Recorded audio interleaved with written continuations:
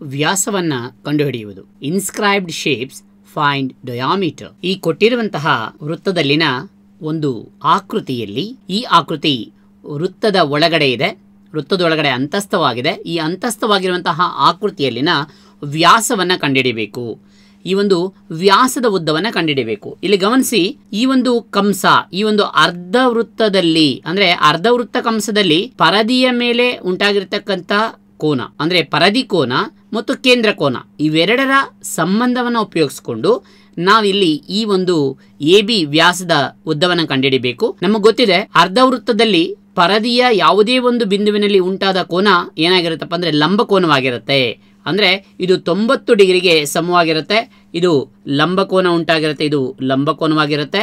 ಜೊತೆಯಲ್ಲಿ ಈ ಲಂಬಕೋನ ಅಂದಾಗ, ಅರ್ಧ ವೃತ್ತ ಅಂದಾಗ ನಮಗೆ ಗೊತ್ತಿದೆ, ಈ ಒಂದು ಭಾಗ ಎಷ್ಟ ಎಷ್ಟಪ್ಪ ಅಂದ್ರೆ ನೂರ ಎಂಬತ್ತು ಡಿಗ್ರಿ.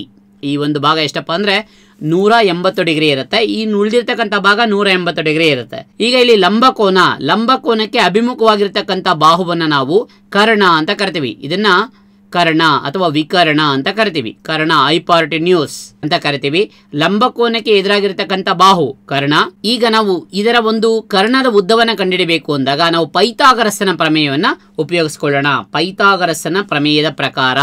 ಪೈತಾಗರಸನ ಪ್ರಮೇಯ ತೆಗೆದುಕೊಳ್ಳೋಣ.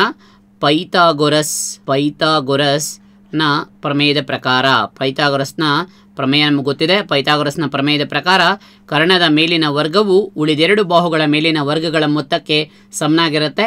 ಹಾಗಾದರೆ ಈ ಕರ್ಣವನ್ನು ನಾವು ಇಲ್ಲಿ ಇದನ್ನು ಎಕ್ಸ್ ಅಂತ ತೆಗೆದುಕೊಳ್ಳೋಣ. ಎಕ್ಸ್ ಅಂದರೆ ಎಕ್ಸ್ ಸ್ಕ್ವೇರ್ ಕರ್ಣದ ಮೇಲಿನ ವರ್ಗ. X square is equal to ಉಳಿದೆರಡು ಬಾಹುಗಳು. A C square A C square ಅಂದರೆ ಹದಿನೈದು square plus B C square ಅಂದ್ರೆ ಎಂಟು ಸ್ಕ್ವಯರ್ ಎಂಟು ಸ್ಕ್ವಯರ್ ಅಂದ್ರೆ ಎ ಸಿಯ ಉದ್ದ ಹದಿನೈದು ಇದೆ, ಎ ಸಿ ಸ್ಕ್ವೇರ್ ಅಂದ್ರೆ ಹದಿನೈದು ಸ್ಕ್ವೇರ್, ಬಿ ಸಿಯ ಉದ್ದ ಎಂಟಿದೆ ಎಂಟು ಸ್ಕ್ವೇರ್. ಈಗ ಇದರ ವರ್ಗಗಳನ್ನ ಕಂಡಿಡ್ಕೋಣ ಎಕ್ಸ್ ಸ್ಕ್ವೇರ್ ಇಸ್ ಇಕ್ವಲ್ ಹದಿನೈದು ಸ್ಕ್ವೇರ್, ಹದಿನೈದು ಇಂಟು ಹದಿನೈದು ಹದಿನೈದು ಹದಿನೈದ್ಲಿ ಇನ್ನೂರ ಇಪ್ಪತ್ತೈದು ಪ್ಲಸ್ ಎಂಟು ಸ್ಕ್ವೇರ್. ಎಂಟು ಸ್ಕ್ವೇರ್ ಅಂತಂದ್ರೆ ಅರವತ್ತ ನಾಲ್ಕು ಎಂಟೆಂಟ್ಲಿ ಅರವತ್ತ ನಾಲ್ಕು ಈಗ ಇವೆರಡನ್ನ ಕೂಡೋಣ.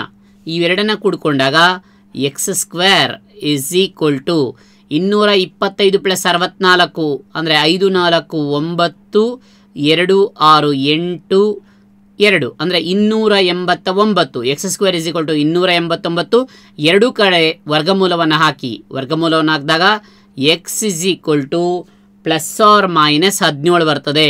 ಪ್ಲಸ್ ಆರ್ ಮೈನಸ್ ಹದಿನೇಳು. ಬರುತ್ತೆ. ಆದರೆ ಇಲ್ಲಿ ಧನಸಂಖ್ಯೆನ ನಾವು ತೆಗೆದುಕೊಳ್ಬೇಕಾಗಿರೋದ್ರಿಂದ ಎಕ್ಸ್ ಇಸ್ ಈಕ್ವಲ್ ಟು ಎಷ್ಟಪ್ಪ ಅಂದರೆ ಹದಿನೇಳು ಯೂನಿಟ್ಗಳು.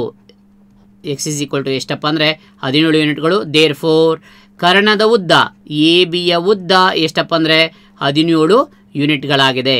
ಕರ್ಣದ ಉದ್ದ ಹದಿನೇಳು ಯೂನಿಟ್, ಕರ್ಣ ಅಂದರೆ ಅದು ವ್ಯಾಸ. ದಟ್ಸ್ ಈಕ್ವಲ್ ಟು ವ್ಯಾಸದ ಉದ್ದ. ವ್ಯಾಸದ ಉದ್ದ. ವ್ಯಾಸದ ಉದ್ದವನ್ನು ಕಂಡುಹಿಡಿದಿದ್ದೇವೆ ವ್ಯಾಸದ ಉದ್ದ ಎಷ್ಟಪ್ಪ ಅಂದರೆ ಹದಿನೇಳು ಯೂನಿಟ್ಗಳಾಗಿವೆ